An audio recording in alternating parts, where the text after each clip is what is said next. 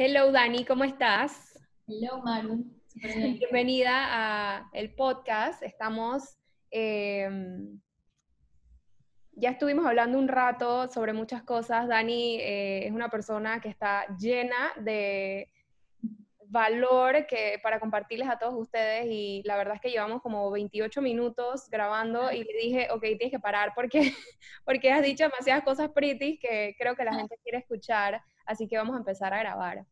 Eh, primero que todo. Por supuesto, siempre la idea de este podcast es hablar con personas que hayan esto, logrado éxito en su vida y que les compartan eh, no nada más sobre su carrera, sino más que nada yo quiero the goodies, como que eh, su mindset, que, cuáles son los miedos que han esto sobrepasado, cuáles son los hábitos que los ayudan a, llegar hasta, hasta esos puntos. Entonces, eh, precisamente de eso vamos a estar hablando. Entonces, vamos a comenzar. Lo primero que te quiero preguntar, Dani, es, ¿cuál ha sido tu motivación detrás de la pintura? Eh, si quieres, comienza hablándonos de cómo llegaste al, tema de la pintura. ¿Es un talento que tú siempre tuviste desde chiquita y siempre como que era un hobby tuyo o cuando ya estuviste grande tuviste interés en esto y le diste la oportunidad? ¿Cómo, cómo iniciaste en esto de la pintura y cómo decidiste de que esto era el camino para tu carrera? Ok, súper primero que todo, de nuevo, thank you por, por, invitarme y de exactamente esto se trata, como share no solamente lo que está en la fachada, o sea, lo que se ve que es la pintura, sino también como el life experience o el journey de pasar hasta saber lo que uno quiere lograr y hacer.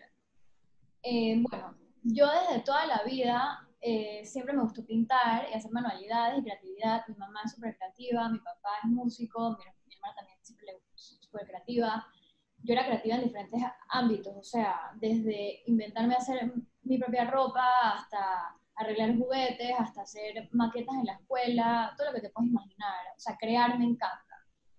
Y la verdad es que siempre pintaba como tipo doodling y así en la escuela en papeles, en los cuadernos de, de, la escuela. Yo era cero de matemáticas, ni aplicada, ni nada, en un desastre. o sea, me iba bien, me iba regular, pero era como que se me acabó el cuaderno, no importa, es para y así. O sea, era muy como que desordenada. O sea, más adelante en la universidad me volví mucho más organizada, pero en la escuela era como que no me interesaban mucho estos temas. De repente historia, filosofía, arte eran mis clases favoritas, pero nada que tenga que ver con matemáticas y teoría así, ¿no? Entonces, siempre fui muy creativa y siempre estuve en clases de Ganexa y de arte que mi mamá me metía obligada, que me daba un poco de pereza, pero bueno, iba. Eh, nunca pensé en ir a la universidad para estudiar arte, la verdad, porque para mí en ese momento yo pensaba que ir a estudiar ese tipo de cosas como, como arte, baile, eh, todo ese tipo, bueno, música no, porque sí tienes que saber, pero todas estas cosas para mí eran como que, ay, no, yo no voy a ir allá porque eso es medio que, medio que un paseo, which is not true, pero a la misma vez como que, ¿sabes? Uno, uno, yo pensaba más en ese momento como que, bueno, voy a business o mercadeo, o sea, nunca pensé que yo iba a dedicarme a nada que tenga que ver con el mundo del arte. O sea, pensé que de repente iba a ser creativa en algunos ámbitos de mi vida, pero no que iba a ser mi carrera. O sea, no lo veía tan así. También tú sabes que en esas épocas uno es muy como que de la fiesta, el relajo, y entonces no tenía claro a esa lo que quería hacer. Entonces, nada, desde muy temprano siempre estuve en cursos y, digo, me interesaba un poco, me gustaba, me gustaba ver cosas de, de arte o ir a museos, pero no era como si voy a estudiar arte ¿entiendes? Entonces, voy a la universidad, estudio marketing business, escogí business porque era como el main y entonces major in marketing y en verdad marketing sí me llama la atención porque marketing tiene todo lo que ver con publicidad, eh, branding, que en verdad yo, yo sí soy bien creativa para ese tipo de cosas. Entonces dije como que bueno, esto es algo más fácil que me va a dar un trabajo, o sea, voy a ir a Panamá y I'm gonna land on a job con esto, o sea, graduada de esto.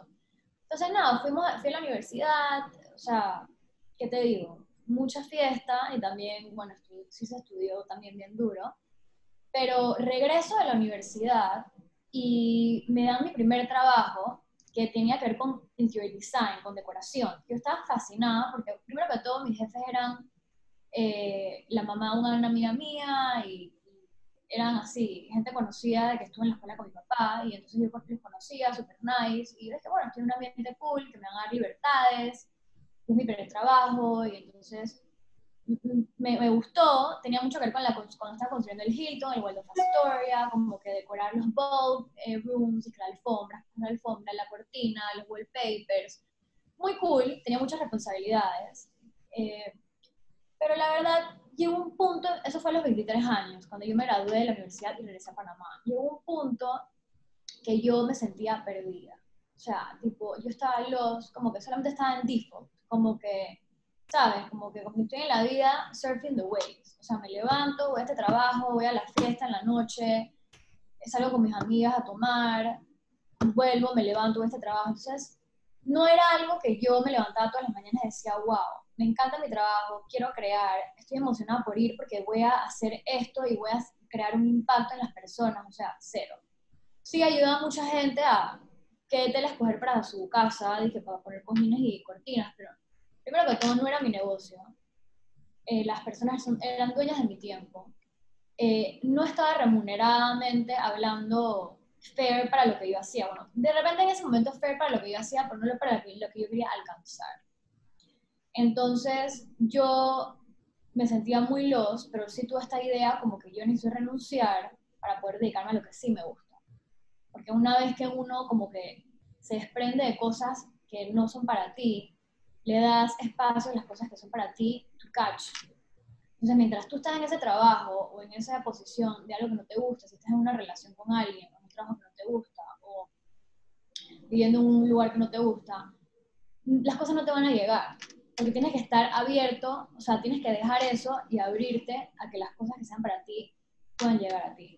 Entonces, mientras yo estaba en ese trabajo, no me iba a llegar de la nada oportunidades relacionadas con el arte, ¿entiendes? Porque obviamente estaba enfocada en otra cosa. Dani, quisiera unpack un poquito, porque hay como varios golden nuggets aquí en lo que acabas de decir. Em, uno, mencionaste de que existe como esta creencia de que el arte como que es muy fácil, o que era como que si tú estudias arte, em, es como si estuvieras paseando por la vida. Entonces, muchas personas dejan de estudiar estas cosas, personas artísticas, puede ser arte, puede ser em, em, baile, puede ser eh, actuación, qué sé yo, arte en general, pero lo dejan de hacer, dejan de irse por esa carrera, aunque, sea, aunque sepan qué es lo que les gusta, porque either sus papás les dicen de que esa carrera no les va a dar dinero para vivir, o porque otras personas autoritarias alrededor de ellos también les han impuesto esa creencia de que en verdad del arte uno no vive. O sea, yo, yo no soy de que la artística, y hasta yo he escuchado esa, esa frase, de que del arte uno no vive y uno deja de hacer esas cosas quizás por, por esas creencias y al final terminas desviándote más de tu autenticidad y puede que más adelante en la vida te sientas tan desalineada y tan frustrada con tu vida y es porque en un inicio no te fuiste, como que you didn't embrace quién eras realmente por estas creencias limitantes. Háblame o sea, yo pienso que, como yo te lo dije, como yo lo pensaba cuando era más pequeña, no, ¿para qué voy a estudiar arte? Ni siquiera se me ocurría decirle a mis papás, quiero ir a un art school, ¿me entiendes? Cuando hoy en día, haciendo lo que yo hago, me parece tan importante. O sea, yo me he metido en cursos de arte ahorita, o sea, como que soy un poco autodidacta, pero sí ahorita que estoy en New York, sí he pensado meterme una maestría, o sea, algo que tenga que, o sea, cursos de arte aquí, de Sotheby's, de varios, o sea, de varias escuelas que son para eso y sí te ayudan. Entonces digo, yo tenía esa creencia cuando era mucho más pequeña porque, ¿me entiendes? Yo estaba en otra onda. Pero ahorita que I look back, pienso que es algo tan importante y que también, así como hablamos de energía, como que si tú sabes que you want to do that, you have to stick to that magic, o sea, to that para que el magic pase. O sea, en el sentido de que si yo de repente me hubiera pegado eso a esas edades en la universidad, quién sabe, desde mucho antes estuviera exponiendo en otras galerías afuera de Panamá, ¿entiendes? Desde mucho más joven y ya mi carrera artística hubiera estado mucho más avanzada. Entonces digo, yo obviamente, eso yo, eso yo también lo pensaba, pero hoy en día sé que es totalmente falso. O sea, obviamente you have to study what you think inside of you, es lo que te llama, te mueve, porque uno al final, o sea, ¿cómo te explico? Uno al final como que sí, consigue que, que su pasión sea su trabajo y, ¿me entiendes? Como que when you're having fun, te va bien. O sea, yo no estoy diciendo, yo sé que hay personas que de repente piensan que, no, que yo fui, estudié eso y en verdad al final no terminé trabajando en esto y no me fue bien, pero es que siento que las personas que en verdad sí tienen la convicción y que saben lo que van a hacer, y no solamente pintan y ya, o trabajan y ya, simplemente están todo el día pensando en eso. Eh, no importa si alguien no les compra una obra, están todo el día, su mente está todo el día pensando en eso, su energía está pegada en eso. Entonces el universo no tiene other way que darte lo que quieres, no sé si me explico. Entonces, me preguntaste mucho como que, que las personas, mucho, que los papás muchas veces te dicen como que sí, que tú no vas a estudiar eso porque eso no te va a dar plata, porque tú no vas a poder conseguir un trabajo, Cuando yo me gradué de la universidad y yo renuncié a mi trabajo este, los dos me preguntaron, y muchas personas en mi familia me preguntaron, bueno, ¿y qué vas a hacer? ¿Vas a dormir hasta las 1 de la tarde a los 25 años, 24 años? Y yo siempre mi respuesta era, ustedes no se preocupen, yo voy a ver, yo voy a conseguir qué es lo que yo voy a hacer. Y todo tenía que ver con arte. Comencé un negocio de Panama Hats, comencé un negocio de cloches pintadas a mano. Siempre todo tenía que ver con arte, no se me explico. Y cada vez que yo iba a aplicar por un trabajo nuevo, como tipo, bueno, part-time, de repente un trabajo de marketing, mientras hago este hobby, como que la vida siempre me decía que no. Porque de nada, yo estaba tan, tan como que empeñada en que eso es lo que yo iba a hacer, que como que la vida siempre me decía que no, haz esto, que siempre me llegan nuevos trabajos, nuevas oportunidades. Hasta que, bueno, ya comencé a pintar más, o sea, obras, y me, comencé a meter en galerías, y me comenzó a ir más bien. Pero sí, es verdad que muchas veces alrededor de nosotros hay gente que opina de lo que uno quiere hacer. Y yo pienso que en verdad lo más importante es nunca escuchar a nadie y siempre hacerte caso a ti mismo. Eso es lo que yo pienso. Em, digo, ¿Cómo, ¿Cómo, fue que decidiste? Responsablemente, pero Sí, sorry, es que estamos en Zoom para los que nos están escuchando, entonces como que hay un delay ahí y nos puede que nos estemos interrumpiendo. Eh, quiero saber cómo fue que tú decidiste, por qué decidiste en ese momento renunciar a tu trabajo y si ya tenías un plan. ¿Fue que en ese momento realizaste y que, ¡Ah! ok, te levantaste un día y dije, ok, es el arte, eso es lo que quiero hacer? ¿Cómo fue? Sí, yo tenía, eh, ya yo tenía un año trabajando ahí. Y yo, como te expliqué, yo me sentía, fue mi primer trabajo, o sea, ya de graduada, y como te expliqué, yo me sentía un poco como que sin drive, en el sentido de que, por muchas razones, o sea, por razones de ese trabajo, por razones de que dueños de mi tiempo, de que a veces uno que otro fin de semana tenía que estar ahí o rindiéndole cuentas a llamadas y así, o de repente no ganar lo que yo pensaba, lo que yo creía que necesitaba ganar en ese momento para darme mis lujos mis cosas. Eh, eran muchos factores que yo ya tenía maquineando como desde hace un tiempo atrás. Y yo en verdad, o sea, como que yo sentía que I was born to do more de lo que estaba haciendo. O sea, en general, de todo. O sea, de, de una posición de trabajo, en salario, todo. O sea, yo siento que, yo en verdad, aquí, o sea, yo siento que I was born to do como que big things. Yo me exijo a mí misma eso porque yo sé que dentro de mí I have that. Entonces yo como que constantemente me pasa eso. Entonces en ese momento me pasó. Y yo tenía más o menos como decirle a mi jefa de cómo iba a renunciar, pero me costaba, como que, ah, hoy. Y después dije, no, hoy no. Dije, hoy, no, hoy no está de buen humor. No, mañana. Hasta que un día dije, o sea, un día en verdad, en verdad, antes de todo eso de cómo se lo iba a decir, yo un día me acosté a dormir y yo estaba, y creo, yo, yo hice otro podcast hace poco que me, o sea, me entrevistaron unas pelas de, de México que en LA. Eh, y justo me preguntaron, me preguntaron esa pregunta y yo esto fue lo que contesté. O sea, yo tuve un, o sea, me acosté a dormir y mientras dormía me pregunté a mí misma, tipo, ¿qué quieres ser? Entonces, ¿sabes? Como cuando te dice, alguien dice, alguien dice, ay, me quiero ir a LA o a Hollywood a hacer de cine. O me quiero ir a, yo no sé, quiero ser, salir en esa, televisión, en esa película, o quiero eh, en, series, o quiero ser cantante, o quiero, así, esa pregunta así random, me la hice yo como que, ¿qué quiero hacer? Y yo en verdad, no, no me digas por qué, dije, yo quiero ser artista, quiero hacer cuadros, pintar obras enormes que estén en galerías, que la gente tenga un, que le tenga un impacto mis cuadros en la gente, en las personas. Eh, quiero ganar mucha plata haciendo lo que hago. O sea, dije específicamente hasta una cifra. O sea, me imaginé como que un día quiero vender un cuadro en tal cantidad, por ejemplo. Y no sé, me lo dije así un día y también me pregunté como que, qué quiero o sea, ya que una vez que tenga todo esto, como tipo medio fama, se puede decir, o sea, tipo que mis cuadros lleguen lejos y que se vendan en tal cantidad, ¿qué quiero lograr con esto? O sea, yo para qué quiero ganar esa cantidad de plata, yo para qué quiero que mi obra esté en la casa de no sé quién o de una galería. Y la, o sea, mi, mi, propia respuesta para eso fue como que quiero primero mi independencia, mi libertad, quiero en verdad como vuelvo y repito, como un impacto en la gente. O sea, para mí cada obra que yo hago es un pedazo de mí. O sea, simplemente muchas veces I cope with my feelings o de repente los moods que tengo en cada obra.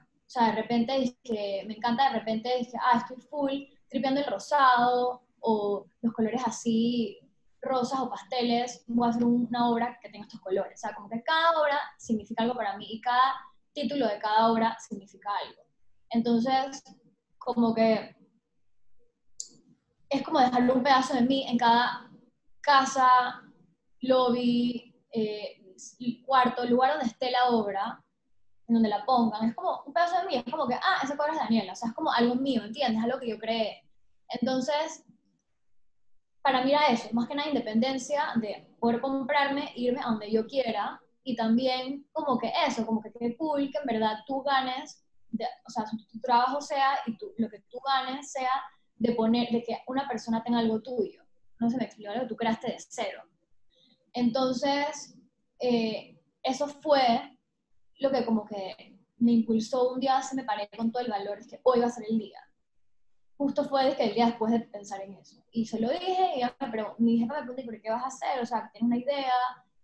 Y yo dije, no, yo en verdad voy a hacer algo como que, de, que tenga relacionado con eso, con el arte, como que nadie se preocupe o nadie dije, me busque trabajo o me pregunte esto y el otro, simplemente eh, yo voy a ver qué hago con mi arte. Como te dije, obviamente pasó un tiempo que no, no estaba haciendo tanto, o sea, estaba en mi casa ahí, ¿me entiendes? Pero a medida que pasó el tiempo, yo comencé a, eh, a lo de mi Panama que me hice muy bien, lo de los cloches, después lo de las obras, y poco a poco fue como súper orgánico. Entonces ahí me di cuenta que en verdad era para mí. O sea, como que fue tan orgánico y fui tan como también, eh, I never give up de que, ok, de repente pintaba obras que no se vendían, ¿me entiendes? Y obviamente pintar también, o sea, no es como que, ah, vamos a comprar un canvas y vamos a comprar una pinturita y pintar, o sea, es bien, o sea, los materiales son caros, si quieres comprar un rollo de tela para pintar, las pinturas, o sea, es todo un jazo como que qué colores uso, que si esto, que si el espacio, ¿entiendes? Entonces,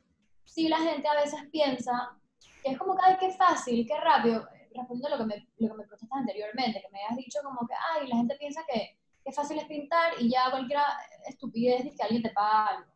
Cuando en verdad, sí, uno de repente vende 10 horas, 15 horas, 20 horas, pero de esas 20, 30, uno pinta 70. O sea, yo al año, el año pasado pinté más de 80, 85 obras grandes o sea, de unos 50 por unos 70 por unos 80, o sea, obras grandes, algunas las doné en, en subastas, algunas las vendí, algunas las mandé a galerías, algunas, ¿me entiendes? Como que algunas las tengo guardadas, o sea, a lo que voy es que no es solamente como que, ah, hagamos esto y se vende y ya. Las, las personas no entienden que cuando uno es artista es mucho más que eso, es mucho más que vamos a hacer una obra y venderla y quiero el dinero, no se me explico, es mucho más allá es solamente como un producto que estoy vendiendo. O sea, es todo un, un una situación.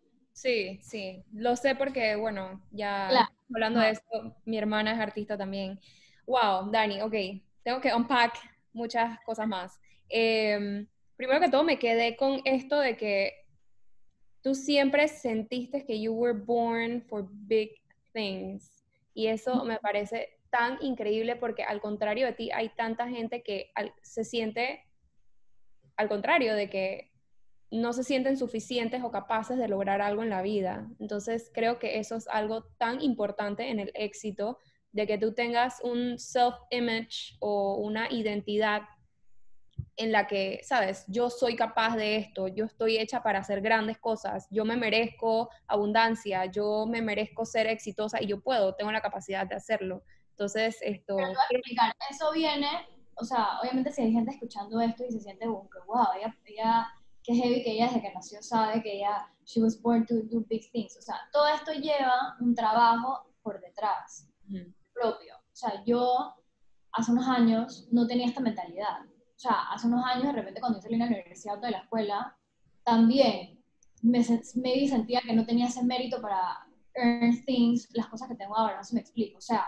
de repente no tenía la autoestima que tengo ahora. Estoy en un momento de mi vida que me siento muy contenta en muchos ámbitos de mi vida y estoy súper pegada a la abundancia. Estoy como que nada en ese sentido de, la abundancia, de que si se vende este, esta hora, si no se vende esta hora, si me va bien o no me va bien, y contra las adversidades, o sea, eso no me tumba, como que estoy muy positive vibes y estoy muy como que encaminada y encarrilada en lo que quiero, que tengo, o sea, que tengo, tengo el valor para decirte como que I was born for big things porque I realize that now.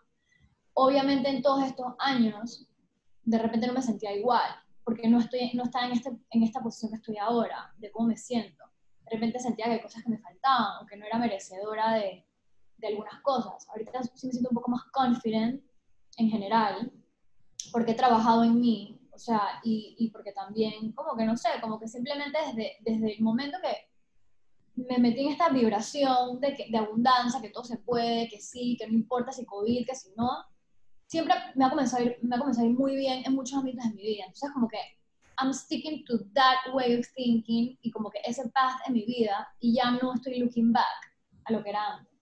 Qué curioso. ¿Y cómo, cómo pasaste de, ok, me estás diciendo que eras humana como todos eh, y que tuviste momentos en que estabas, tenías self-doubt, eh, dudas de ti misma, quizás no tenías mucha seguridad en ti misma de que eras capaz de lograr, eh, de, de, hacer mucho dinero con, con tus obras, en fin, estas cosas. ¿Cómo pasaste cuando tú dices de que hiciste un trabajo en ti misma? ¿Qué son esas cosas que hiciste?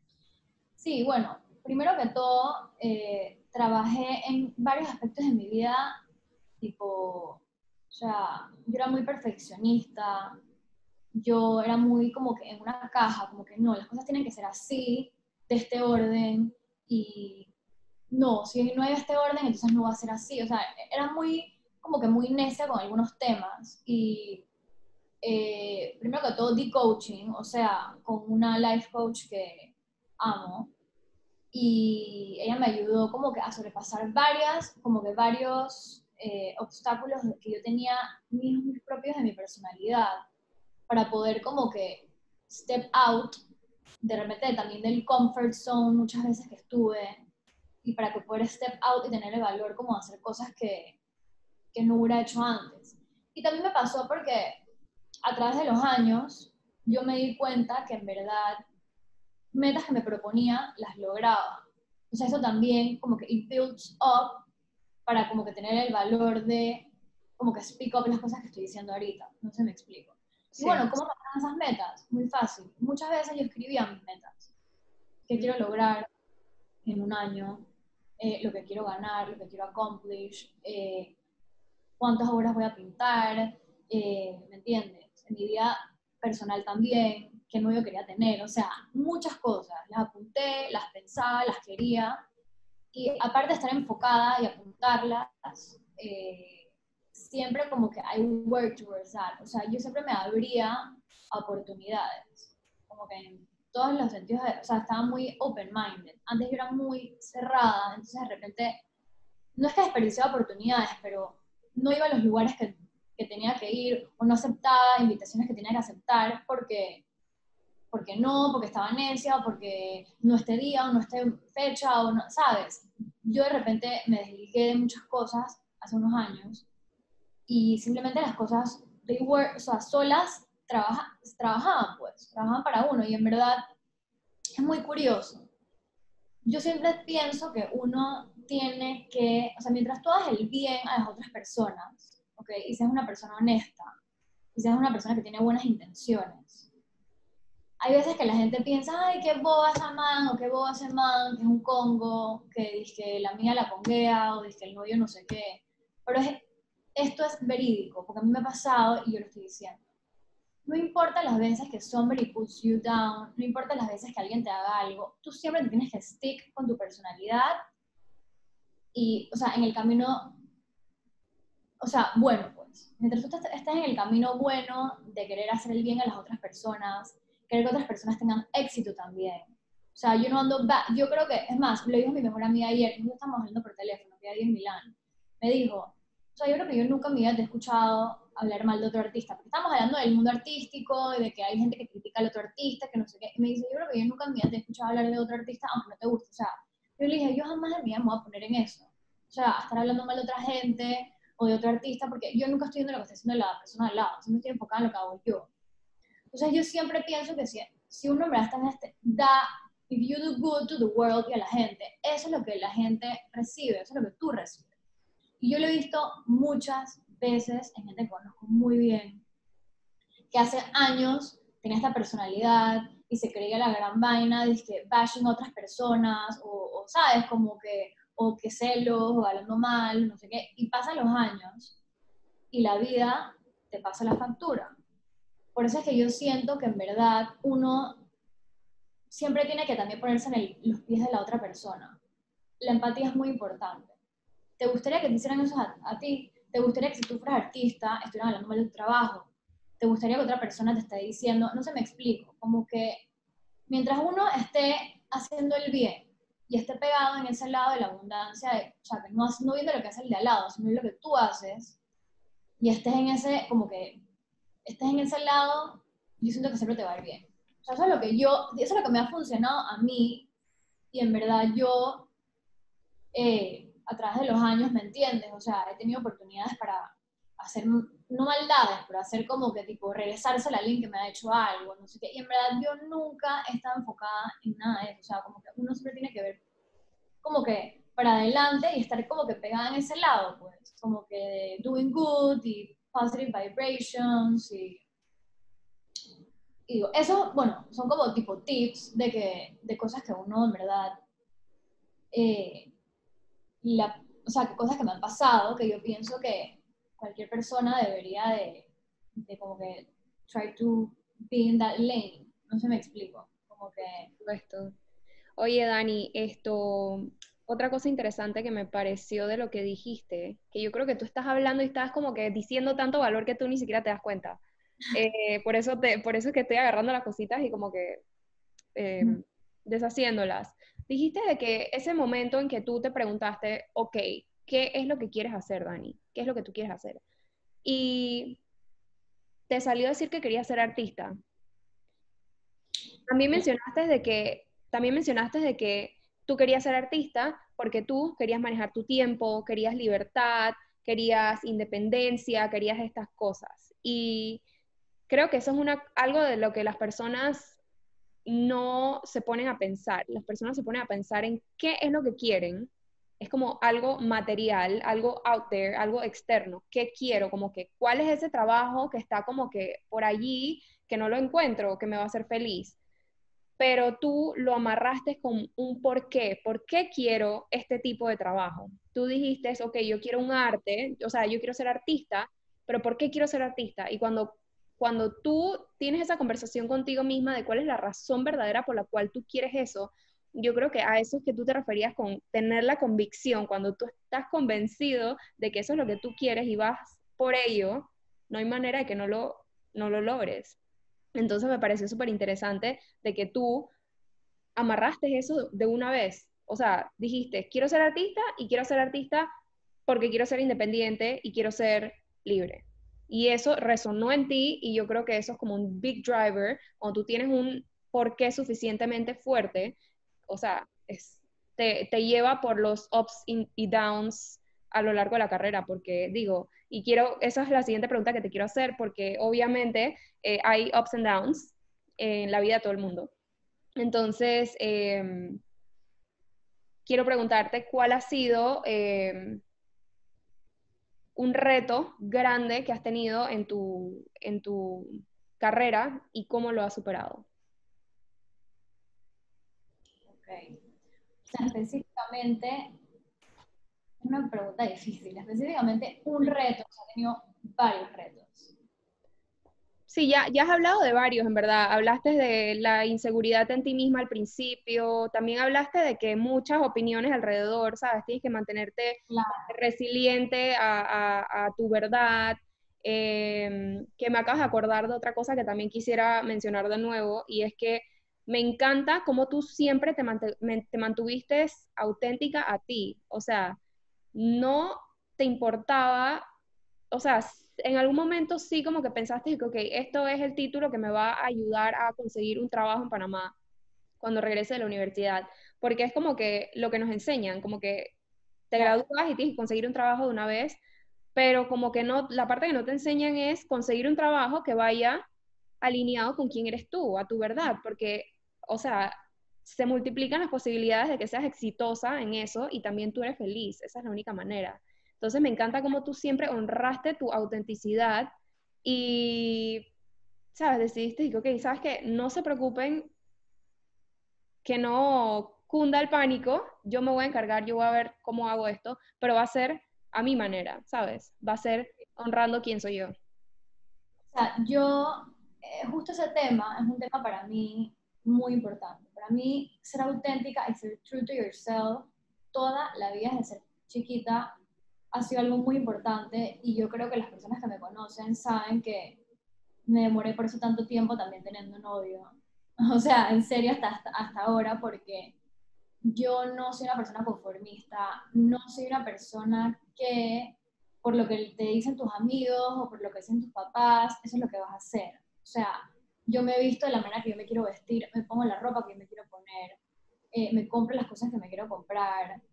Eh, pinto lo que quiero pintar, digo lo que quiero decir y quiero siempre hacer y comer y hacer todo lo que yo quiera hacer. O sea, no, no es por rebeldía ni nada, porque dentro de todo, digo, estoy dentro de los parámetros de lo normal, pero es porque siento que uno siendo true to yourself y como que sabiendo lo que quieres y como que honrándote a ti mismo, es la única forma de que las otras personas te honren y que en verdad como que la vida te lo, como que, replay, como que te lo paga back. O sea, si tú te honras a ti misma y sabes lo que quieres hacer y como que you honor that, yo siento que eso es lo que tú vas a tener en la vida. O sea, porque solamente la vida te va a ir guiando en ese camino de lo que tú quieres tener o ser, ¿entiendes? Y también es otra, es algo muy, o sea, con las relaciones emocionales con las otras personas, ya sea con tus amistades, con tus familiares o con tu pareja. O sea, cuando tú te ahorras a ti misma y tú pones tus boundaries y tú sabes lo que tú quieres, las otras personas también te tratan de esa manera. ¿Entiendes? Entonces, yo siento que para mí fue, es más, no fue ni siquiera tan difícil para mí. O sea, te lo digo porque, por ejemplo, en, otro, en temas personales, o sea, de novio, tú sabes cuántas veces la gente venía de mí, te vas a quedar sola. O sea, ya más de grande, pues cuando ya, ¿sabes? Cuando ya tienes que tener un novio serio que eres muy picky, que eres esto. Y te lo juro que en verdad estoy tan pegada con lo, o sea, sabía tanto lo que yo quiero, y estoy tan pegada como esa parte de la autenticidad, que digo, obviamente te molesta que te digan eso todo el tiempo, pero no le para ni bola, porque es lo mismo de cuando comencé con mi carrera. Entonces ahorita toda la gente que me decía eso me está aplaudiendo, no sé, me explico, toda la gente que algún momento me criticó o me dijo es que, ah, vas a vivir del arte, o eso es lo que te va, vas a tener un salario de eso, o sea, todas las personas esas me están celebrando lo que yo hago ahora. Y el simple hecho, o sea, a mí me pasó eso por el simple hecho de honrar lo que, y estar como que pegada con lo que yo quería hacer, o sea, con lo que yo sabía deep inside que era para mí. Y ahorita me, me, me sale muy fácil, o sea, para mí pintar y crear y sacar una colección y el nombre, lo que va a hacer, es muy fácil. O sea, por ejemplo, estos, estos este arte que tengo ahorita es de es un papel especial. Yo siempre pinto en Canvas, pero este es un papel como un Gifty Edition, que lo voy a vender como tipo super lindo packed, pero es el mismo papel, cardboard. Y en verdad no lo voy a vender marcado, yo siempre hacía eso porque esto es como un más affordable Gifty Edition de New York. Y se llama The New York Minute. O sea, no me preguntes por qué. O sea, literalmente lo hice porque estoy en New York y me lo voy a llevar a Panamá. Y es como que un minuto en Nueva York, porque es como que artsy, como tipo spray, como graffiti style, como en las calles de New York. Entonces, estás llevando como que un minuto en New York en un mini art. O sea, pero todas estas cosas que a mí, o sea, todas estas cosas que de la nada para otra persona es como que, ay, a la vida, ¿qué título le pongo? ¿Qué le digo? O qué escribo. O sea, para mí me sale muy fácil, me viene muy fácil este tipo de cosas. Por eso es que yo, en mis épocas, cuando yo estudié marketing en la universidad, yo sabía que, por ejemplo, hacerle el branding a alguien o el logo, eran cosas que me iban a venir muy fácil, porque es como que, ¿sabes? Es mi lado creativo. Entonces, me, me, viene muy fácil saber lo que es para mí y lo que no, no se me explico. O sea, me, me, me viene muy fácil identificar, saber, que si me dicen, eh, por ejemplo, que si me dicen, sal con este pelado, y de la nada yo sé que no es para mí, yo estoy clarita que no es para mí. Como lo que me decían en mi trabajo, tengo este trabajo de ir a comprar mercancía para no sé qué tienda y viajar. Yo sabía que eso no era para mí. No se me explico. Sí, me encanta viajar, pero me encanta viajar en mi own term, de vacaciones. No dije parándome todos los días a las 8 de la mañana, en un horario de 8 a 5, a estar como que bajo las órdenes, las reglas de alguien que me está mandando a mí. Que ese es otro, otro tema también dentro de lo que yo, o sea, en, esta, en este mundo existen dos tipos de personas. Los líderes y los que les gustan que los lideren. O sea, no sé me explico. Entonces, yo soy una persona que a mí no me gusta que me digan que hacer y tampoco me gusta como que la gente sea dueña de mi tiempo, que hoy en día para mí el tiempo es como que mi most valuable asset. O sea, ahorita mismo yo, para mí, o sea, yo dejo de hacer cosas aquí, más en New York, por también estar pintando un cuadro. Por eso es que yo, mis cuadros tienen el precio que tienen, porque yo dejo de hacer cosas para dedicarme a algo y eso es lo que la persona me está comprando, mi tiempo, es lo más valioso para mí. Entonces, eh, todos estos temas de que, que, descuento, que porque es muy caro, que no sé qué, las cosas tienen un valor y tú le pones el valor a las cosas. ¿Entiendes? Entonces, tú tienes que identificar qué, cuál es tu valor y ese es el valor que las cosas tienen y las personas tienen que pagar el valor que tienen las cosas que tú pusiste porque es el valor que tú le das a tu tiempo. Entonces, esto, o sea, es, es un factor, es como, es una combinación de muchas cosas, pero sí, cuando una persona es dueña de tu tiempo, eh, yo, por, yo, por ejemplo, o sea, en mi ejemplo, me vuelvo menos creativa cuando una persona es dueña de mi tiempo y me dice qué tengo que hacer. Como que soy una persona muy flowy, como que cuando estoy sola y tengo tiempo para hacer lo que yo quiera, ahí es donde más creativa me pongo. Y soy muy trabajadora igual, o sea, yo te digo, o sea, yo hay días aquí que yo estoy desde las 9 de la mañana hasta las 12 de la noche, non-stop, pintando miles de cuadros a la vez. Cuando de repente una oficina hubiera estado, ok, de 9 a 6, amargada porque me tuve que parar a las 7 de la mañana para manejar a la oficina y llegando a mi casa te, can cansé a las 6, pero no hice lo mismo. O sea, el resultado fue muy diferente, ¿entiendes? De repente trabajé más en lo que hice, pero a mis tiempos, a mis horarios, comí cuando me dio la gana, descansé si quise una hora. O sea, entonces digo, obviamente esto no es para todos. O sea, este ejemplo que estoy dando de mí es más para las personas que les gusta, o sea, son creativas, son entrepreneurs, quieren ser dueñas de su tiempo. Hay muchas personas que, o sea, yo conozco gente que ellos funcionan cuando la gente le dice lo que tiene que hacer y quieren estar en ese sistema de que te pago un salario al mes, tienes una comisión y tienes un bono al final del año. O sea, yo trabajo de una manera muy diferente, o sea, yo no tengo un salario. Yo gano, hay veces que gano mucho, hay veces que gano poco, hay veces que no gano nada porque no produzo un brujo, porque estoy de vacaciones. Es muy diferente, pero yo me sé manejar mis finanzas muy bien en el sentido que, o sea, todo lo que gano, me lo voy dividiendo como si fuera un salario, pongamos. Pero es como que, eh, ¿me entiendes? Ganancias recolectadas. O sea, no es como que un paycheck by paycheck eh, o es que algo sistematizado, pues, que tienes que estar ahí a las 8 de la mañana. O sea, para mí, hay muy pocas veces que me paro tan temprano a hacer cosas a esa mañana que estoy afuera en la calle a las 8 de la mañana, no sé si me explico. Cuando la, mucha gente que tiene un trabajo están acostumbrados a eso, que es tienen que estar todos los días a las 7 de la mañana vestidos en su carro y en su oficina. O bueno, ahorita con COVID times, que tienen que estar en un Zoom a las 8 de la mañana, no sé. Pero aquí es muy, o sea, en mi vida es muy diferente. Pero en both ways, uno trabaja mucho. O sea, lo que yo hago también conlleva mucho trabajo y mucha dedicación y esfuerzo y sacrificios. Así como también ir a una oficina o estar en un Zoom de 8 a 5. Por supuesto. Dani, esto, quisiera tocar un poquito el tema este de el life coach que te conseguiste. Y lo quiero tocar porque, por esta misma razón, porque, y yo era una de esas personas, cuando uno está como que frustrado, ansioso, infeliz por dónde, por dónde estás parado en la vida, usualmente la pregunta que viene es como que, ok, tengo que conseguir algo que me va a hacer feliz. tengo que como que ir en la búsqueda de, de mi propósito.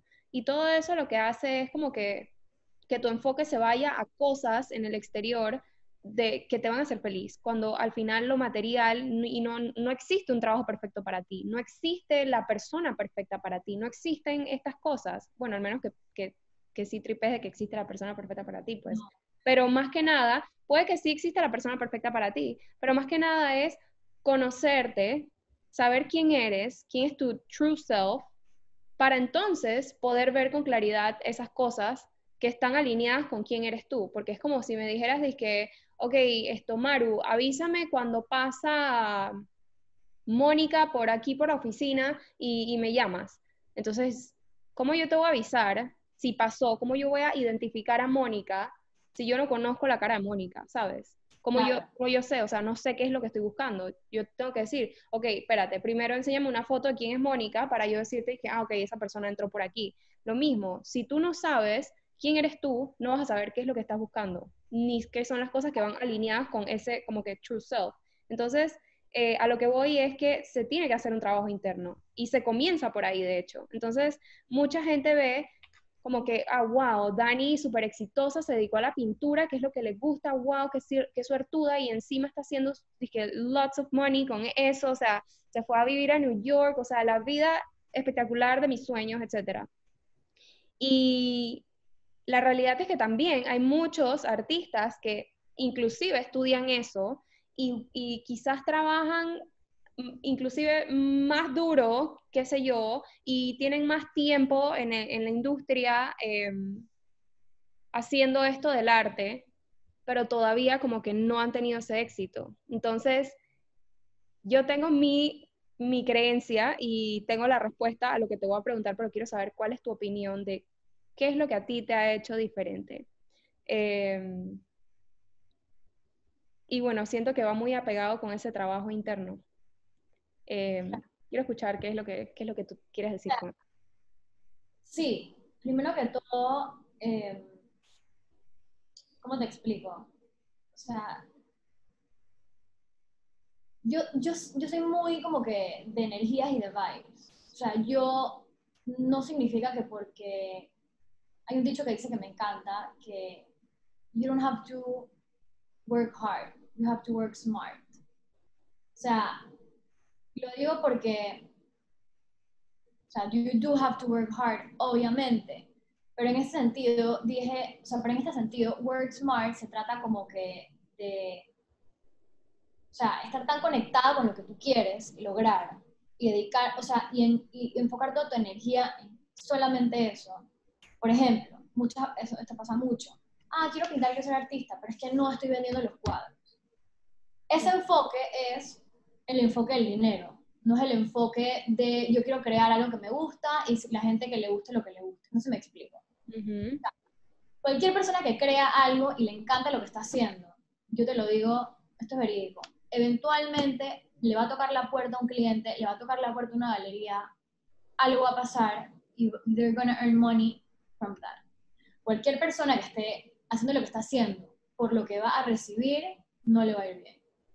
O sea, yo ahorita, que han pasado muchos años que yo estoy en esto, claro, obviamente yo expect a este nivel que ya yo pueda, ¿me entiendes? O sea, vender obras y tener, o sea, no se me explico, estar remunerada por mi tiempo. Pero por muchos años y por mucho tiempo, ese no era mi, o sea, eso nunca ha sido mi enfoque en verdad. O sea, mi enfoque en verdad es crear, esto me gusta. Es más, tengo obras que están enrolladas aquí o que tengo que ni las he ofrecido o ni se las he mandado a gente que me las ha pedido porque mi enfoque no es quiero vender ya y quiero hacer plata y quiero comprarme esto. O sea, mi enfoque siempre ha sido estar enfocada en como que pintar lo que me hace feliz, lo que me gusta, los colores que quiero usar. Eh, este, tengo este mood hoy, entonces voy a crear esto, ¿entiendes? Entonces, o sea, yo siento que va muy ligado el éxito también de conocerte por dentro y de que no hagas las cosas por lo que vas a recibir, sino solamente das.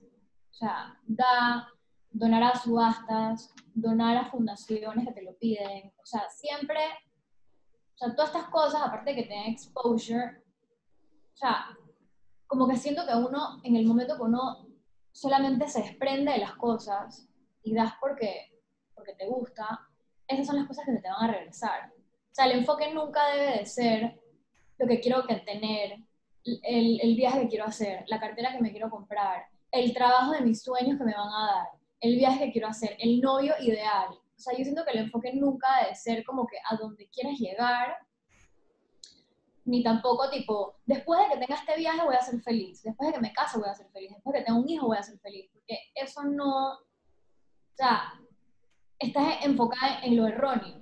Simplemente la vida se va dando y te va dando esas cosas que quieres y que son buenas para ti a medida que pasa el tiempo de una manera orgánica, cuando tú estás contenta con lo que tienes en el momento. O sea, y después de todo lo que ha pasado en el mundo, nos podemos dar cuenta que uno nunca puede rely en el futuro. O sea, tú puedes hacer, hay gente que hizo planes el día antes del edificio se cayó en Miami y no pudo hacer los planes al día siguiente porque, ¿me entiendes? Pasó un accidente. Hay gente que hizo planes antes de COVID y pasó COVID y falleció su abuelo o su primo, ¿me entiendes? O sea, yo siento que enfocarse viviendo en el día a día y lo que haces en el día de hoy, no, no, no lo que pasó en el pasado, lo que me hicieron en el pasado, lo que pasó en el pasado o lo que va a pasar en el futuro. O sea, como que hoy.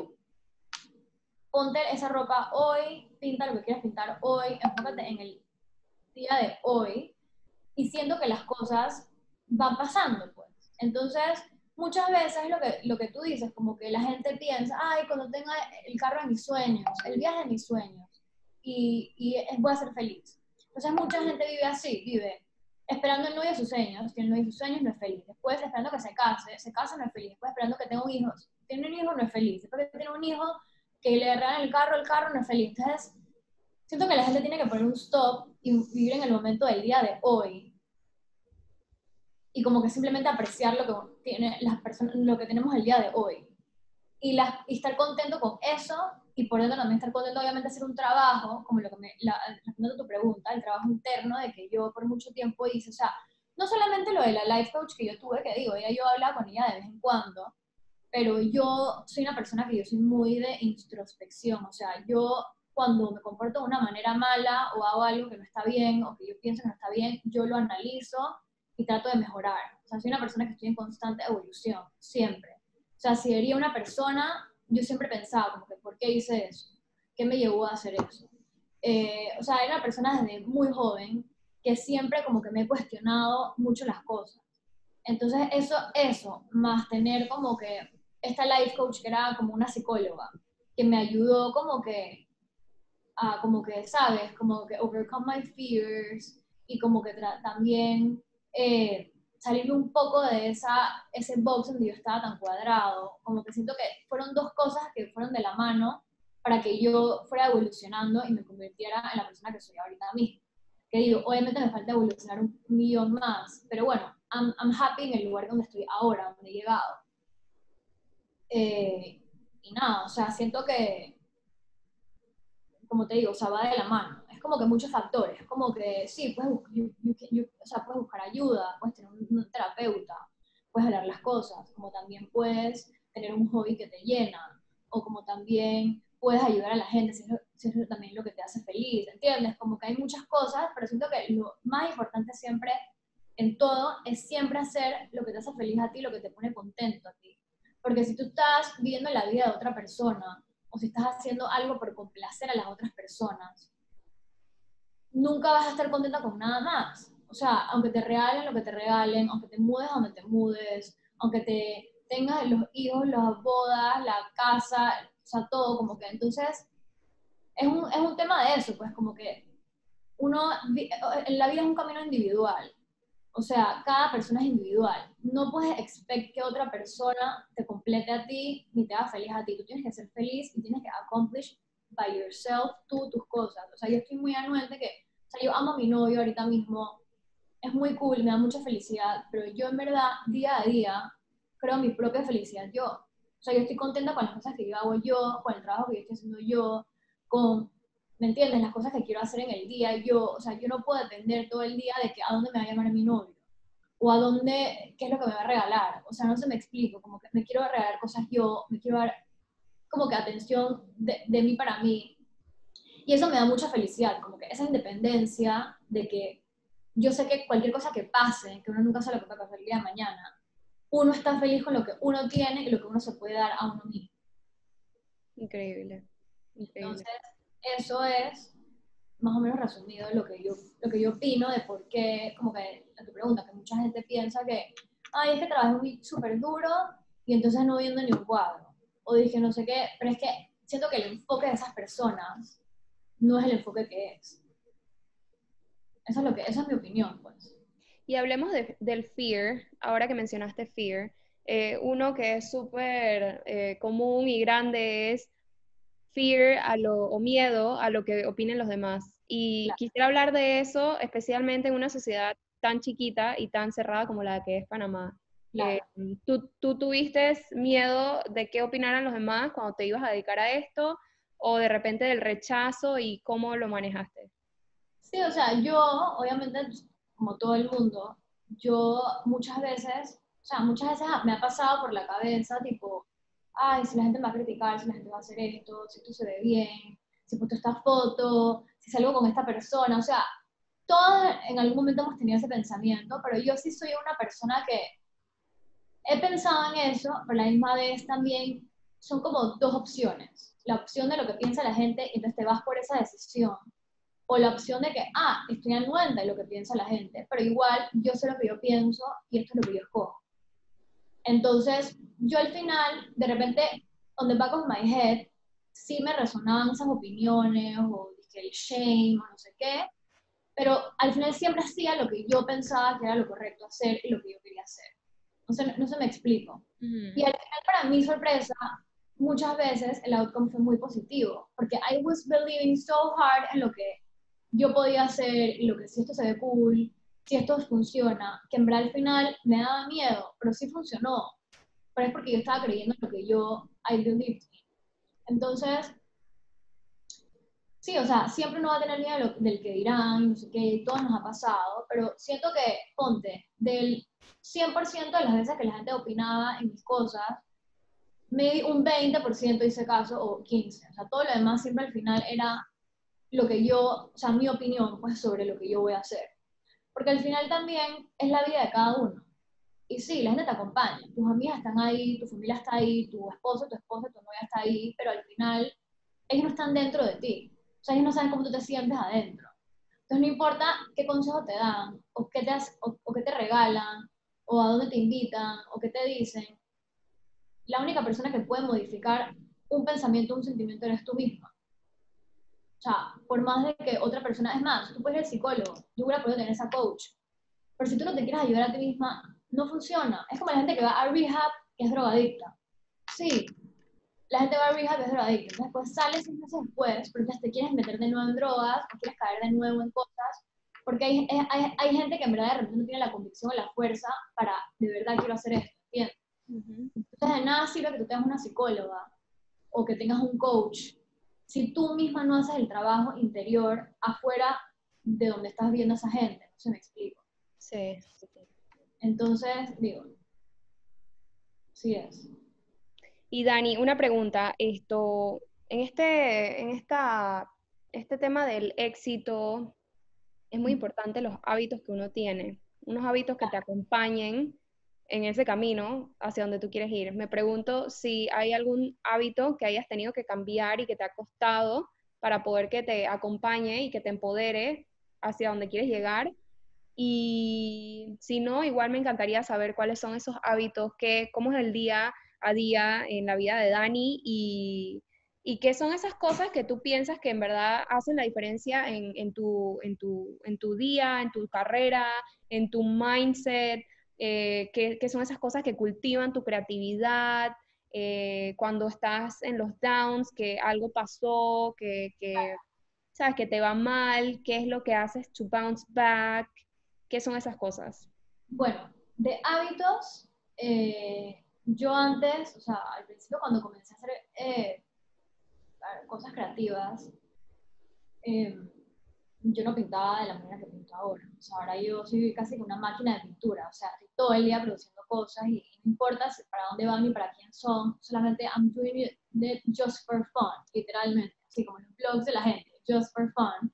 Y eso se desenvuelve en algo. O sea, alguna venta o alguna galería o lo que sea, pero, o sea, sí me ha costado que, por ejemplo, yo tenía mis momentos de que me gusta chilear y usar mi celular, que se Instagram, que se por WhatsApp y no sé qué. Yo cuando estoy trabajando, o sea, sí, yo a veces meto stories porque tengo que meter como que, como yo tengo que poner en vivo lo que estoy haciendo a veces para que la gente vea que estoy pintando algo, los colores que estoy usando, porque es como para fit my Instagram de arte para que la gente vea lo que estoy, what I'm up to.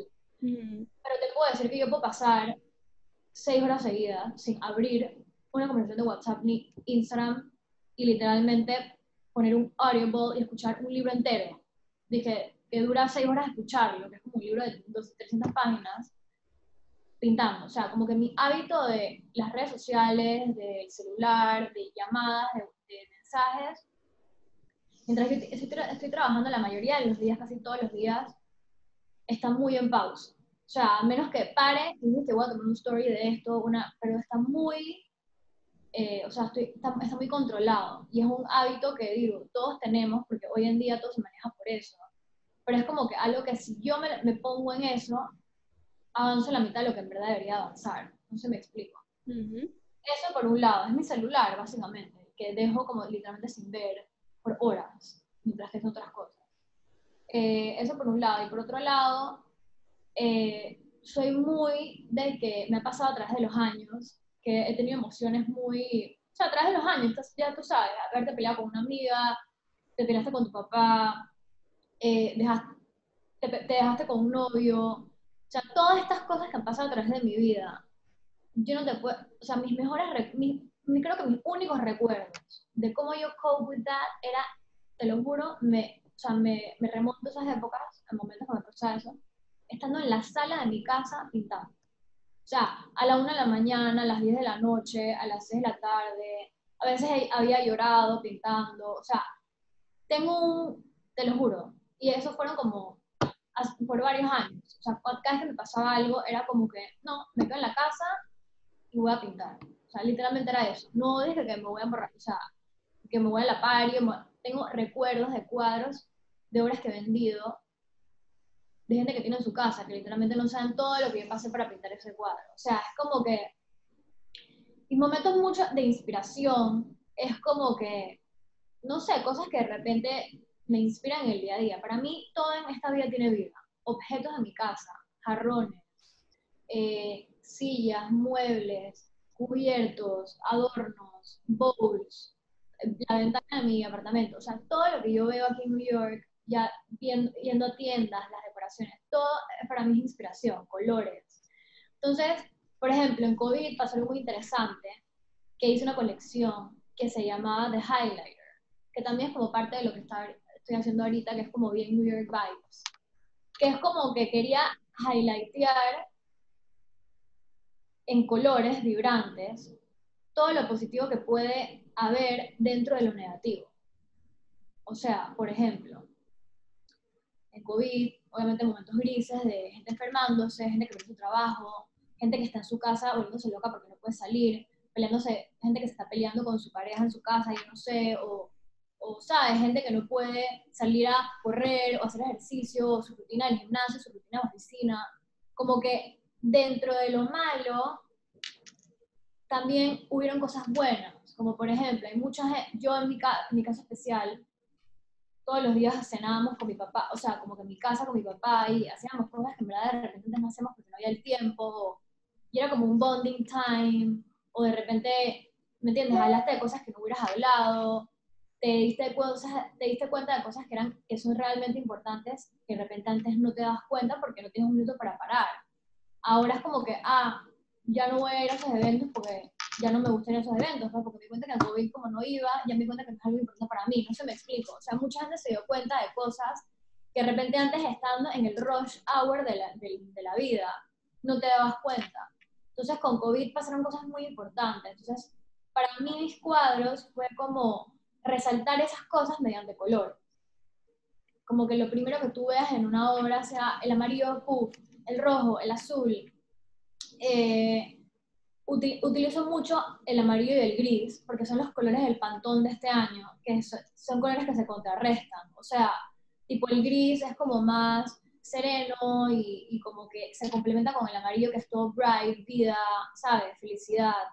Entonces son como que los dos colores oficiales de este año y los utilizo mucho en mis obras también. Entonces para mí es literalmente este año y el año pasado, que han sido mis mejores años ever.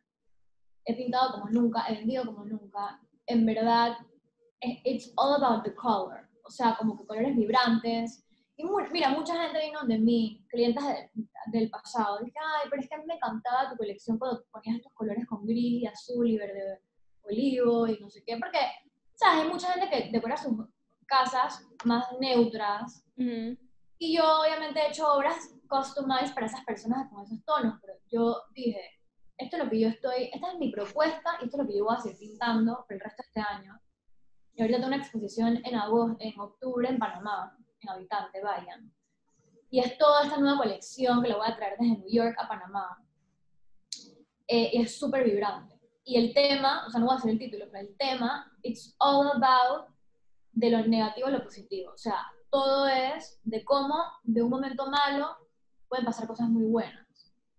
Entonces, eh, nada, o sea, yo, ¿me entiendes? Como te digo, yo transmito mis emociones por mediante de mis obras. O sea, a mí, para mí el arte ha sido, y te lo juro que la otra, hace, no ahorita, pero hace unos meses atrás, un día me levanté y comencé a pensar como que, estaba, I, was looking back y vi todos los rollos que tengo de obras que voy a mandar a Panamá y, y todo lo que tengo aquí y dije, wow, ¿en qué momento he pintado tantas cosas? Y dije, es increíble cómo el arte ha estado conmigo en los buenos y en los malos momentos. O sea, una, una, pregunta, eso cuando dices que tú tienes recuerdos de ti pintando, dije, cuando estabas triste, cuando te habías peleado con no sé quién, ¿eso era antes de haber comenzado el tu carrera? Eh, no, a través de los años, o sea, no te puedo decir que esto me ha pasado ahorita, porque ahorita en verdad estoy súper contenta y súper, o sea, pero hace unos años atrás, o sea, y look back tipo 2018, 2019, algunos momentos que tuve como eh, tipo, qué sé yo, algunas peleas que hay recall con gente close a mí, o de que haber roto con un novio, o sea, como que tengo esos recuerdos de que el arte ha estado en los peores momentos conmigo y también en los mejores. O sea, ahorita estoy en mi mejor momento de mi vida, está conmigo el arte. O sea, el arte es algo que está conmigo y que yo no tengo que llevar a algún lugar para hacer algo. Yo puedo estar en Indonesia agarro un papel y un crayola y me pongo a pintar, no se me explica, o sea, es algo que vive dentro de mí y me ha acompañado en los peores y en los mejores momentos de mi vida y, o sea, me ha salvado, o sea, prácticamente, o sea, ha sido mi salvación, es como algo que, no sé cómo explicarlo, o sea, no es que me tenía que salvar a alguien, pero es como que en los malos momentos que he estado en mi vida y en los buenos, siempre he pintado. Y eso, o sea, gracias a que he pintado, porque estoy transmitiendo algo, otra persona se ha beneficiado de mi arte porque lo quería decoración o lo quería poner en su pared.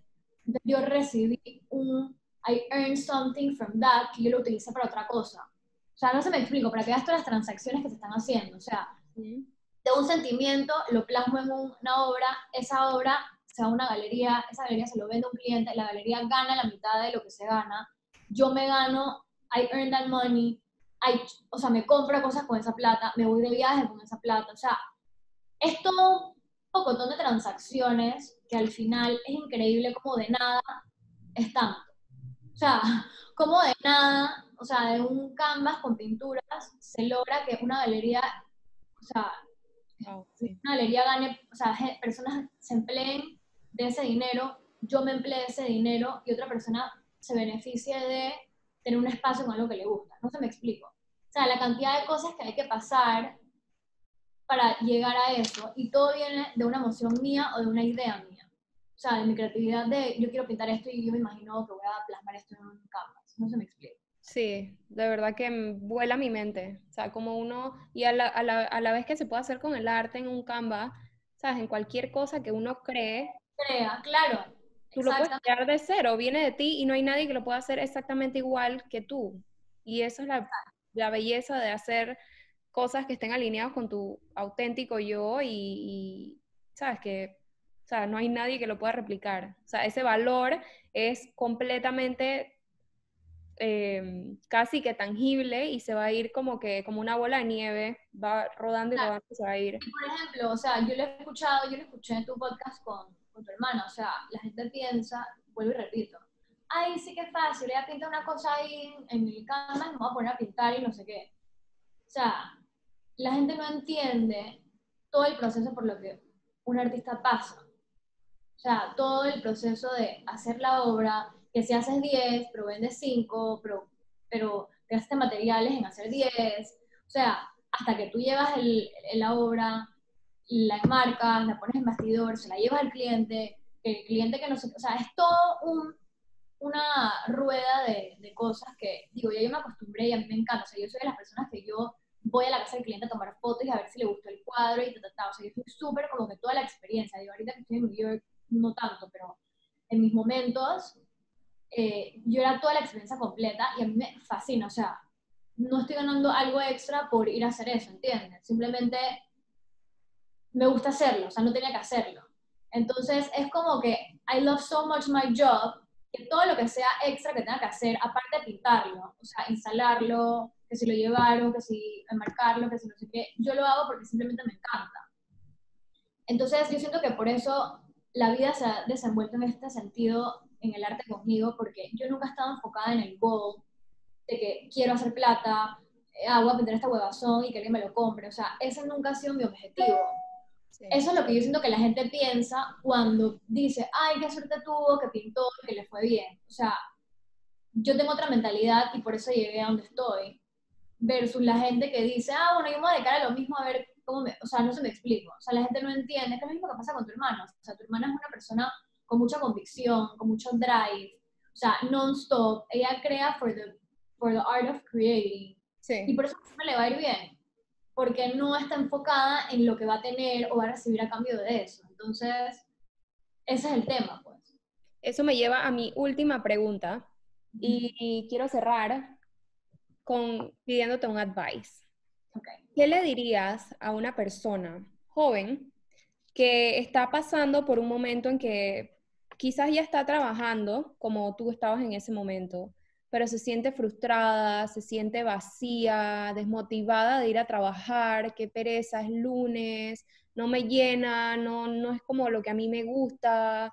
Em, sin embargo, tiene ciertas responsabilidades, quizás ya está, ¿sabes? Tiene que pagar su carro, o, ¿sabes? Ya, ya tiene ciertas responsabilidades aunque viva con sus papás, porque creo que mucha gente que va a estar interesada en esto em, creo que no, el, el range de, de, los que, de los listeners que he visto está entre 25 y 35 años, así que es alguien como que joven todavía, pero que quizás ya, ya tenga cierto tipo de responsabilidades. Entonces, em, no es que se pueden como que arriesgar y, y pensar, que, ok, yo, I'll figure it out, voy a primero renunciar a esto y después veo qué es lo que hago.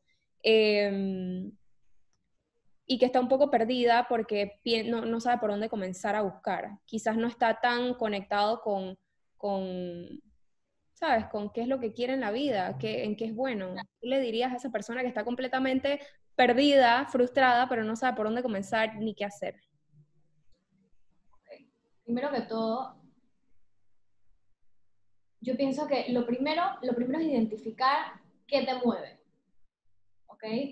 Poner, literalmente hacer una lista de las cosas que eres buena, que te gustan hacer y que podrías sacar un negocio de eso. O sea, hacer, o sea, you have to make a plan. Pero ok, antes de hacer el plan, porque todavía sigues, sigues trabajando en este trabajo que no te gusta, pero te da para cumplir con tus responsabilidades, que eso lo entiendo, porque también uno tiene que ser responsable ahora. Yo cuando renuncié, yo también vivía con mis papás, pero yo tenía mis ahorros también, de que yo había ahorrado ese trabajo y de tenía ahorrado. Entonces yo hice un plan, pero mientras pasaba ese plan, yo tenía un colchón, no se me explico. O sea, no es que la nada, ah, no va a hacer nada, ayude. O sea, como que, ¿me entiendes? Como que no lo hice hacerlo loco. Entonces, lo primero es identificar qué te gusta, qué te llama. Como que, qué cosas llaman tu atención, ¿ok?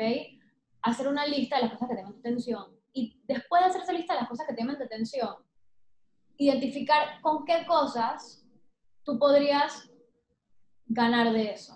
O sea, no solamente, ah, me gusta ir a jugar golf. O sea, no. dije, quiero ser golfista profesional, o sea, no. O sea, ¿me entiendes? Como que algo que te llama la atención, que tú puedas eh, volver físico, o sea, manifestar físicamente, o sea, una actividad, un hobby, algo que tú puedas materializar, es la palabra. O sea, que se convierta en algo que tú puedas do something con eso que te lleve a un trabajo, que tiene un salario. Entonces, lo primero sería para mí identificar qué es lo que, qué es lo que te gusta hacer, qué te hace feliz. Y ya cuando sabes identificar eso, make a plan. Que te lo digo que esto lo hice yo, mi novio lo hizo. Mi novio tiene su compañía de importación de, alcohol. Y cómo él hizo eso, trabajando para la importadora más grande de Estados Unidos de licor en todo Estados Unidos. Él literalmente tenía cinco años, cuatro años trabajando en corporate y a los 27 años dijo, esto lo puedo hacer yo.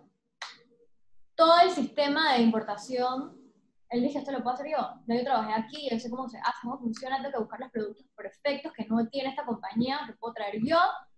Y él literalmente me dijo, yo estuve dos años en mi trabajo, que odiaba, porque era un trabajo de 8 a 5 y él es, como yo, él podía que, que le digan que hacer. Y digo, le iba súper bien, tenía un puestazo, pero él quería viajar cuando le da la gana, hacer lo que le da la gana. Y él me dijo, yo hice por dos años un plan. Entre estos dos años, yo creé mi compañía en dos años. Lo fue creando poco a poco, el nombre, las certificaciones, ta, ta, ta, ta, ta, hizo todo un plan. Y un día fue para adelante, renunció y dijo, ya, tengo todo hecho. Es lo que quiero hacer, ta, ta, ta. Entonces, ese es un ejemplo de algo obviamente mucho más estructurado, porque él sí hizo una compañía, o sea, él sí hizo una compañía, ¿entiendes? No es que yo que me voy a ir a pintar. Sí, él eso tengo que, que, entrevistar a tu novio. Ah, exacto, debería. Literalmente debería. Entonces, él sí hizo un plan mucho más profesional, que ya incluía obviamente mucho más un plan de inversión, o sea, era una inversión mucho más grande. O sea, es muy diferente, pero es lo que te digo, o sea, esto pasó cuando yo no era novia de él. O sea que a lo que voy es que él identificó qué es lo que quería hacer como yo. Yo identifiqué qué quería hacer y yo hice un plan. O sea, como las metas que me puse. Yo quiero lograr esto. Y mientras dije que quería lograr eso, yo fui working towards that. Entonces, lo primero es identificar qué te gusta hacer. Hacer un plan de cómo podría funcionar eso. ¿Ok? Eh, de repente la persona le gusta, yo no sé, dar clases a niños. Por ponerte un ejemplo. O sea, está en un trabajo que no es eso, pero le gusta por ejemplo, le gustan los niños. ¿Qué puedo hacer yo con eso? Un cursito de niños. Hacer un plan de, no sé, me explico, o sea, son ideas, pero bobadas.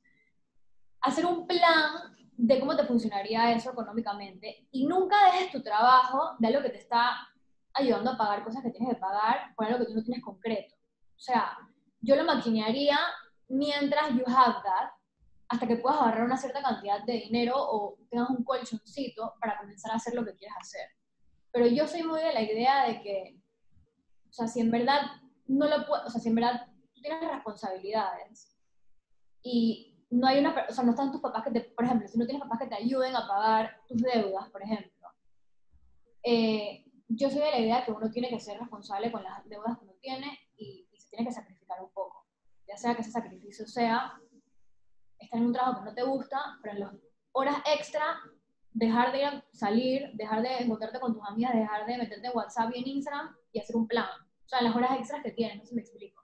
O sea, como que hay un momento ahí, como que un sweet spot entre, o sea, hay un sweet spot entre tener el plan y hacer suceso. Y ese, ese spot no es un spot cómodo. O sea, no es un spot que vas a ganar lo que quieres ganar, no es un spot que vas a tener el éxito que quieres tener, pero es necesario pasar por ese spot para poder llegar a donde quieres estar después. No sé, me explico. O sea, hubo momentos que yo no ganaba lo que quería ganar y, ¿me entiendes? Tenía que estar ahí, dije, que pagando esto, que siguiéndome en este viaje, que sin nada, nada, nada, hasta que ahora yo puedo hacer lo que yo quiera. O sea, yo puedo dejar de trabajar, dije, todo este año y ya yo tengo un millón no sé, me explico como que yo pinto lo que me da la gana ahorita. Yo le digo a la persona, dije, ah, no quiero pintar este cuadro, o, o sea, no se me explico, o sea, yo, pero yo, eso no pasó de la nada, eso pasó por varios años, como que, ¿me entiendes? Como que sacrificándome, dije, ah, no puedo hacer esto porque en estos momentos no, pero yo siempre supe, porque yo tengo mucha convicción y yo sé que iba a trabajar duro, que yo lo iba a lograr. Entonces, o sea, son muchas cosas, son como que think positive, creer en ti, identificar lo que eres bueno, lo que te gusta, y no solamente lo que es bueno, como el, vuelvo y repito el quote que dije al principio, don't work hard, work smart. O sea, you don't have to work harder, you have, you have to work smarter. O sea, meaning, hay mucha gente que trabaja mucho más duro que yo, pero de repente a mí me da mejor que a ellos. No se me explico. O sea, no solamente se trata de que, ah, identifiqué lo que me gusta hacer, ahora eh, dije, bueno, quiero ganar plata de esto, pero entonces no sabes ni siquiera cómo materializar eso. O sea, tienes que encontrar cosas que te gusten hacer, pero que, que, te, que te parezcan placenteras, pero que a la misma vez be smart about it. O sea, cosas que también te pueden traer, o sea, que puedes materializar y que te pueden traer también como un valor monetario, o sea, un valor agregado y como que se puede monetizar a lo que tú quieres. Porque esa es la otra. Nadie está feliz haciendo un trabajo en el del cual no te van a remunerar o tú no ganas lo que tú quieres. Es mentira, y no es por la plata, es mentira que una persona está mil por ciento feliz haciendo un trabajo donde no, no, se siente remunerado fairmente por lo que hace. Eso no sirve. Eso no, ¿Sabes cómo trabaja eso, cómo funciona eso en una corporation? Los bonos a la gente se los dan y las comisiones justamente para eso, para que estén incentivados para poder hacer un mejor trabajo. El dinero es lo que te motiva a hacer un mejor trabajo. Por eso es que, por ejemplo, en mi caso también, que yo no tengo un jefe, o sea, a mí, que entre más personas me compran y entre más galerías me, me cogen, eso es un drive para mí para trabajar más, para que me vaya mejor. Porque eso es un incentivo que me da la propia vida para yo poder grab it. Sí, pero también es súper importante la parte que dijiste de que hay como un spot en el, al principio que no es cómodo, porque al principio nadie te, nadie te va a estar aplaudiendo. Nadie, va a estar cheerleading you, dice que go to me, ¿sabes? Sino tienes que y tampoco te va a pagar por eso al principio. Claro, hay gente que, que ahorita me ve, ajá, muy bien, que tengo 30 años, y ay, qué cool que la vende sus cuadros en esto y a esto, y que la compre, no sé qué. Sí, pero remontémonos a cuando yo tenía 25, 24, 25 años, me estaba empezando a hacer esto. Que, no, que vendí tres cuadros en un año.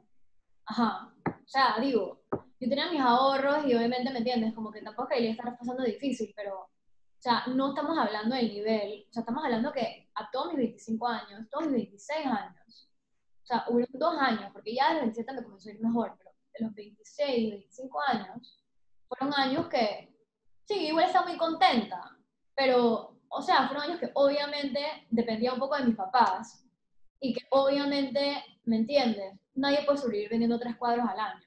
O sea, realísticamente hablando, no estoy ni siquiera hablando de pagar una casa, porque obviamente yo vivía con mis papás, pero realísticamente hablando igual, para irte de viaje, para pagarte tus cosas, para salir a comer, para salir, para comprar regalos, o sea, no puedes depender de, o sea, no puedes, no es sustentable con vender tres cuadros, no se me explico, o sea, eso no, entonces obviamente en esas épocas de repente también yo, yo estaba en otra onda, o sea, en las épocas de 26 años son épocas que tú te la pasas saliendo, que si viajecitos con las amigas, que si aquí, que si allá, y no es tan como algo tan profesional como ahora, que yo lo veo mucho más profesional para mi futuro, para mi familia en un futuro, o sea, toda esta estructura. O sea, en ese momento fue un momento difícil en ese sentido, y yo me acomodé como pude, o sea, I work my ways, pero no estamos hablando de los niveles de cómo me va ahora, ni mucho menos, o sea, y vuelvo y repito, o sea, puede pasar este año y de repente me puede ir malísimo el otro año, pero eso todo depende de mí, o sea, no significa que porque ya soy Daniela y ya me fue bien este año, el otro año también me va a ir increíble, no sé qué. O sea, eso siempre va a estar pasando, siempre y cuando yo trabaje en el mismo nivel que estoy trabajando, o es más, mucho más de lo que estoy haciendo. O sea, eso no, eso no es de que, ah, bueno, ya pues, soy Daniela, me quedo sentada y, ven, y ya pues. No, tú tienes que seguir trabajando igual o mucho más de lo que estás haciendo ahora para poder estar en el mismo nivel, para, o sea, para poder mantenerte. Yo he visto muchos artistas que han tenido un millón de éxito hace tres años en colecciones increíbles y que de repente, puta, pasan tres años y tú nunca has sabido más de ellos, se están comiendo un cable. No es porque, ah, qué mala suerte, que lo dejó la esposa, no tiene nada que ver. Es porque eh, la persona se achantó y no quiere seguir trabajando. O sea, eso tú lo vas a seguir manteniendo, ya sea con la creatividad que tengas y lo que vaya saliendo de ti. O sea, entre más pintes, más produzcas, más puertas se te abren. O sea, yo me doy cuenta aquí en New York, o sea, es increíble cómo uno llega aquí, ¿me entiendes? Yo no tengo contactos de galerías ni contactos de, de, gente que me va a comprar, o sea, y se me, se me han ido abriendo puertas de de revistas que me han contactado y cosas, solamente por el simple hecho de que estoy trabajando tan duro y que posteo cosas y que story, que ta, ta, I'm out there, que las cosas te, te llegan, pues. O sea, no se me explico. Como que digo, obviamente me falta un millón, pero, pero, o sea, siento que es muy orgánico, o sea, como que no tienes que forzarlo, es lo, lo que te digo. Es que estás completamente alineada, no hay nada que forzar cuando estás alineada. Exactamente. Cuando uno está alineado con lo que uno sabe que quiere y le gusta, y, y es un, y, y, uno hace el bien, también eso es muy importante, porque de nada sirve estar haciendo un great work con algo, tener una super idea, pero ser una mierda de persona. O sea, no se me explico. O sea, tienes que estar alineada en todo sentido. O sea, querer, querer que la gente le vaya bien, querer hacerle el bien a la gente, y también hacer, tu, hacer tus cosas o sea, como que va mucho de la mano. O sea, la vida es muy sabia en cómo hay gente que tiene mucho éxito en el trabajo, pero de la nada tiene una relación enverguísima con su esposa. ¿Entiendes lo que te quiero decir? O sea, o de repente tiene una relación increíble, pero de nada le va mal en el trabajo. O sea, es todo como que tienes que balancear, tienes que estar alineado y tienes que estar como que muy consciente de lo que estás haciendo para que, siento que para que en muchos ámbitos de tu vida te vaya bien. O sea, es como que para que todo esté estable y balanceado. Porque, yo te lo digo, yo lo he visto mucho de repente hay gente que es súper suceso en el trabajo, pero como es una mierda, de la nada le va malísimo con su familia. Eh, ¿Sabes lo que te quiero decir? O sea, como que digo, hay de todo, pero uno tienes que ser como que la mejor versión de ti, en todo sentido. Ayudar a la gente, hacerle bien a la gente, no tener como que maldad, no tratar de hacer el mal a la gente. Y tú misma también como que estar alineado también con lo que tú quieres hacer. Pues. Entonces las cosas se dan solas, pues, como que lo máximo, Dani. No te puedo explicar lo mucho que me ha gustado esta, entrevista, este podcast. Eh... verdad que también a mí me encanta compartir contigo y me encanta como que me doy cuenta que cada vez, ah, digo, aquí en New York no lo hago tanto porque ahora estoy en una época como que New York como que acaba de volver a abrir y así, pero estoy como que en un momento de que estoy trabajando tanto yo conmigo misma que no es que estoy todos los días out o comiendo con gente, saliendo con gente, estoy muy como que encerrada en mi mundo porque estoy ocupada con lo de la exposición y tal, entonces, siento que a veces cuando yo me pongo a hablar así, como cosas inspiradoras con otras personas, me salen todas estas ideas o me, o me emociono toda y como que me gusta, pues, porque es como que un lado de mí que de repente no sale tanto porque no estoy tan out there, no sé. Sí, lo, lo, peor y lo mejor es que tienes tanto que decir, porque, o sea, te doy una pregunta y me vas dando más de lo que te pedí, o sea, todo. O sea, las aburrir. Pero bueno. No, no, no, al contrario, todo lo que dijiste, every single word fue sumamente valioso y estoy pensando que voy a tener que dividir este podcast en dos episodios, pero es que sí, o sea, la gente necesita escuchar esto. De verdad lo máximo, inclusive para mí fue súper, eh, ¿sabes? Rewarding, conectar con alguien que está vibrando tan alto, súper inspiradora de verdad esto, con todo y que, y que ¿sabes? Normalmente, por lo, por lo menos yo me inspiro mucho de, ¿sabes? Estos eh, motivational speakers, esto, que, que, uno no conoce, gente exitosa, pero que uno no conoce. Exacto, entonces, eh, ¿sabes? Eh, tú eres de Panamá, sabía quién eras y definitivamente desde un punto de vista externo, alguien que te ve, que no te conoce, se nota que estás viviendo completamente alineada con quién eres, se nota desde afuera eh, estás irradiando simplemente una energía súper bonita y, estás atrayendo esa abundancia y ese éxito a tu vida. Entonces eso llama la atención a la gente. Eso es más de lo que la gente quiere ver y eso es lo que crea magnetismo en Instagram, por ejemplo. Y definitivamente conectar contigo a este nivel ya más íntimo y, y, sabes que me hablaras y me compartieras todas tus experiencias de verdad es me lo confirman, me lo re que te confirman que eres una persona que está vibrando muy alto y de verdad que todo lo que tienes es ganado, te felicito, eres muy inspiradora y, y lo máximo, no, I can't wait para compartir esto con los demás. Thank you, thank you por invitarme, me encantó así esta convivencia y, y yo te deseo también muchos éxitos, me encanta que estés así como empowering.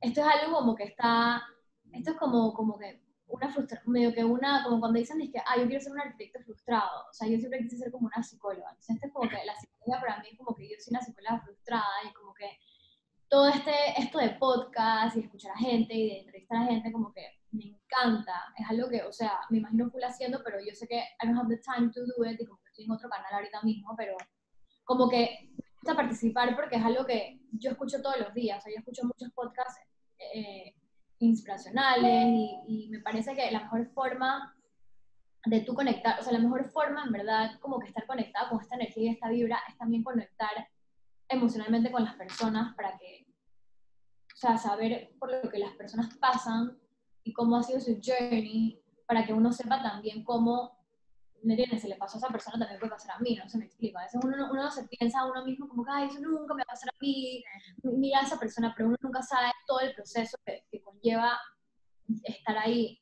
Entonces, conectar así y, y, es más, y también como que conectar con gente que está como que vibrationally super high, con good vibes, energías, es contagioso, o sea, se pega. O sea, que en verdad, yo te agradezco mucho que me hayas invitado y yo espero que a, a los espectadores les guste mucho y keep it up con lo del podcast y yo estoy segura que vas a entrevistar a gente muy cool y voy a escuchar. Y nada, o sea, cualquier otra pregunta que tengan, eh, si quieren ver mi Instagram, mi trabajo, todo. Eh. Sí, Dani, háblanos un poco de dónde te pueden contactar, porque hay gente que te va a escuchar, que te conoce, pero hay gente que no. Eh, sí. eh, redes eh, sociales, etcétera. Sí, o sea, mi, mi account de, mi, mi página web es danielawelfareart.com y mi Instagram es de goldfarb underscore art. Puedes buscar Daniela Goldfarb en Instagram y te sale eh, art, mi, mi, mi account y estamos, vamos a hacer pronto una exposición en Habitante, en Panamá. ¿Tienes fecha? No tengo fecha todavía, es en octubre, y va a ser toda mi nueva colección, son colores súper vibrantes, o sea, súper striking, fondos rosados, amarillos, azules eléctricos, verde menta, o sea, estoy pintando como nunca y tengo muchas ideas y las quiero compartir. No tienen que ir a comprar nada, solamente pueden ir a ver para que vean la idea.